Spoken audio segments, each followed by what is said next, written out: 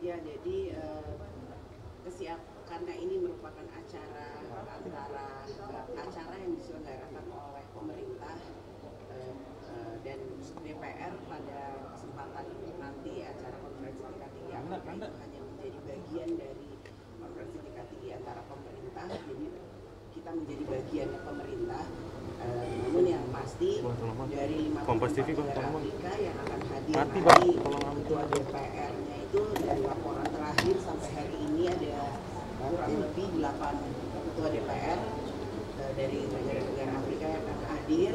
Dan memang eh, eh, saya mendengar bahwa di eh, pemerintah sudah akan diantisipasi terkait dengan eh, apa namanya wabah eh, monkey apa tadi?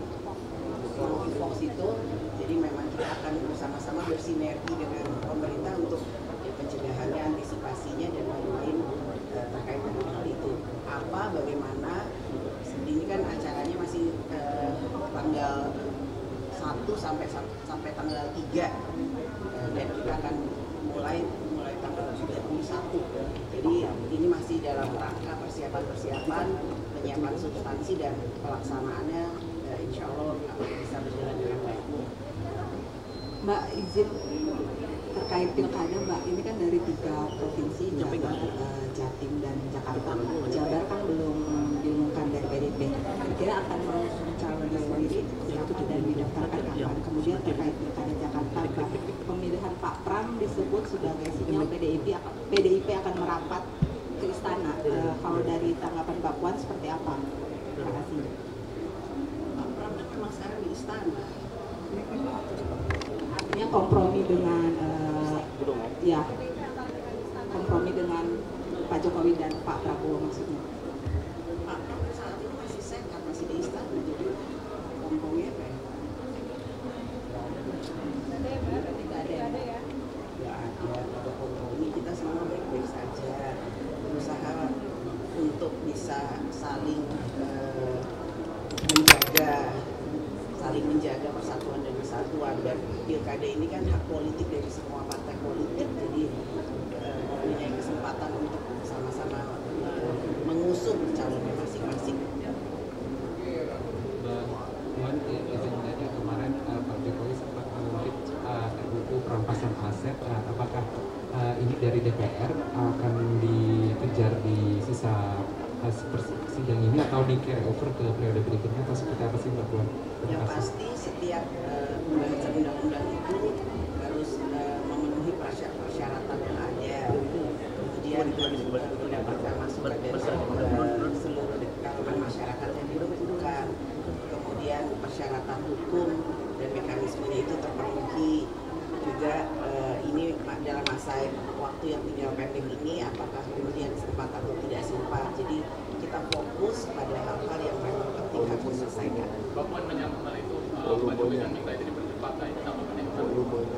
apakah dipercepat akan menjadi lebih baik itu kalau tanyakan itu Mbak izin Firda dari TikTok mau bertanya Mbak soal ada kabar bahwa PDIP itu akan mengusung Mas Anies di Jabar. Kemarin kan ada isu untuk di Jakarta. Sekarang eh, isu PDIP akan mengusung eh, Anies di Jabar gitu. Nah, apakah betul dan seperti apa sih eh, konstelasi PDIP di Jabar? Apakah akan mengusung Kang Ono juga atau gimana Sejauh ini. sampai nanti sore kan waktu pendaftaran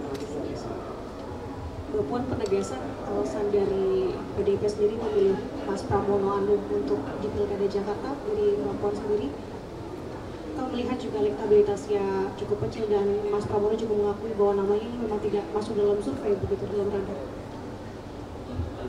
hak politik dari partai politik mempunyai kesempatan untuk bisa eh, mengusung eh, mengusung di DKI dan eh, mempunyai komitmen PDI Perjuangan mempunyai komitmen untuk bisa bergotong royong bersama warga atau rakyat yang ada di DKI untuk membangun Jakarta. Jadi biarkan ini mengalir, biarkan warga warga warga DKI yang memilih nanti pada waktunya.